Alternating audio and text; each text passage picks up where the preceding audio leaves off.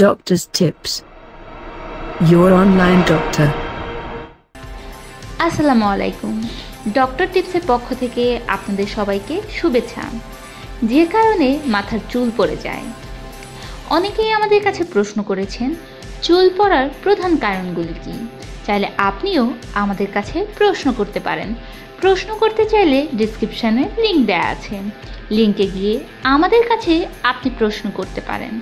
আমরা চেষ্টা করব আপনার প্রশ্নের উত্তর দিতে। যারা এখনও আমাদের চ্যানেলটি সাবস্ক্রাইব করেননি, তারা দেরি না করে এখনই আমাদের চ্যানেলটি সাবস্ক্রাইব করুন, কারণ প্রতিদিন এখানে ফ্রিতে বিভিন্ন টিপস দেওয়া হয়। একজন সুস্থ মানুষের মাথায় গড়ে এক থেকে দেড় লাখ চুল থাকে। প্রতিদিন একশো থেকে দেড়শোটা পর্যন্ত চুল পড়া স্বাভাবিক। কিন্তু এর চেয়ে বেশি পড়লে তা অবশ্যই উদ্বেগের কারণ। বালিশ তোয়ালে বা চিরুনিতে লেগে থাকা চুল গুনতে চেষ্টা করুন। অন্তত পরপর তিন দিন, অথবা অল্প এক গোছা চুল হাতে নিয়ে হালকা টান দিন। যদি গোছার চার ভাগের এক ভাগ চুল উঠে আসে, তবে তা চিন্তার বিষয়। কী কী কারণে চুল বেশি পড়তে পারে? অ্যান্ড্রোজেনিক হরমোন, নারীর চুল পড়া ও পুরুষের টাকের সবচেয়ে বড় কারণ। এই হরমোন সাধারণত পুরুষের শরীরে বেশি থাকে। যাদের শরীরে এই হরমোনের প্রভাব বেশি, তাদেরই বেশি করে চুল পড়ে।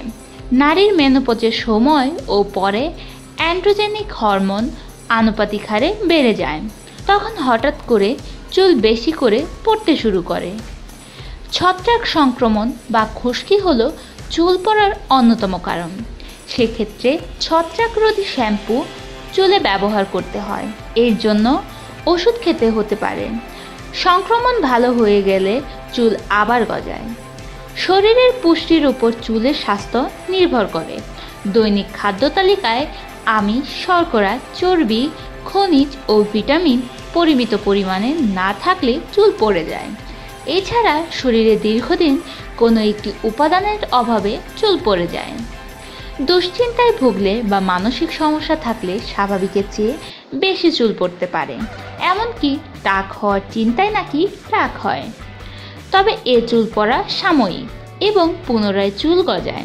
তবে দীর্ঘদিন মানসিক দুশ্চিন্তায় থাকলে বা দুশ্চিন্তা কাটিয়ে না উঠতে পারলে অনেক বেশি চুল পড়ে যেতে পারে।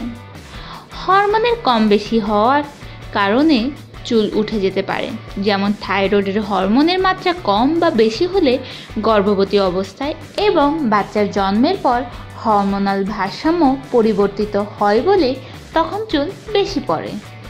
হরমোনের এই পরিবর্তন আবার আগের অবস্থায় ফিরে গেলে পুনরায় চুল গজায়। তবে তা আগের অবস্থায় যেতে এক বছর পর্যন্ত সময় লাগতে পারে। ক্যান্সার চিকিৎসায় কেমোথেরাপি দেওয়ার পর চুল উঠে যায়।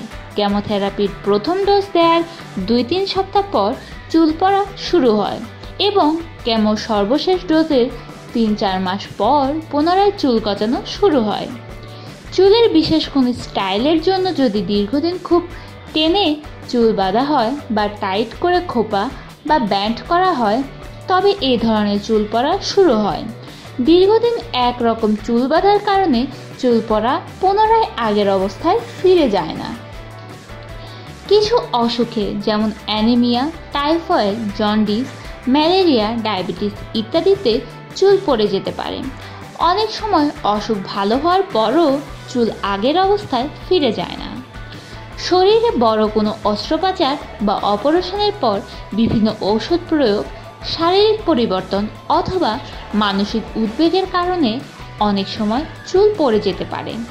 তবে সুস্থ হওয়ার পর চার থেকে আট সপ্তাহের মধ্যে চুল আগের অবস্থায় ফিরে যায়।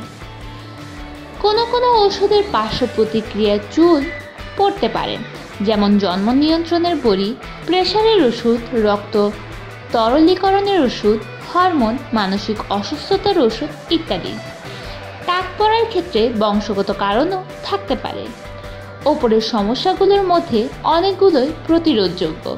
প্রতিরোধের সঠিক উপায়গুলো জানা থাকলে আমরা সহজেই চুল পড়া রোধ করতে পারি। এতে কাজ না হলে চিকিৎসকের পরামর্শ নিতে হবে। ডক্টর টিপসে সমস্ত আপডেট পেতে এখনই আমাদের চ্যানেল সাবস্ক্রাইব করুন। প্রশ্ন থাকলে কমেন্ট করুন, ভালো লাগলে লাইক ও শেয়ার করুন। ধন্যবাদ।